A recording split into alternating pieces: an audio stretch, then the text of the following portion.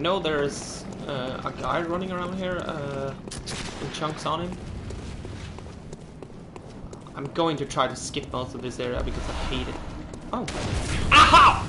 Jesus! Well! We skipped most of that area.